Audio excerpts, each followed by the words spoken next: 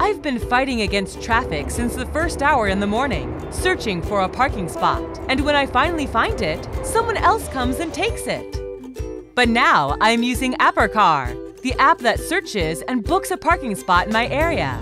And it also drives me there. It's easy and simple. That's how parking should be. That's how everything should be.